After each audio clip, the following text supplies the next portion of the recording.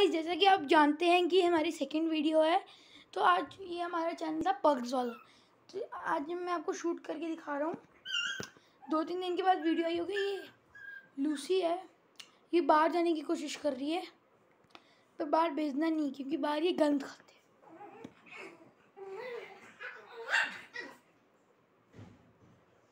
जैसे कि आप देख सकते हैं अभी दोनों फाइट कर रहे थे, पर आप ठीक हो गए। अगर इनको हम गंद खाने दें तो ये बीमार हो जाएँगे। तो आज के लिए इतना ही, आप नेक्स्ट वीडियो में आप लोगों से मिलेंगे। आज का लोग यहीं हम एंड करते हैं।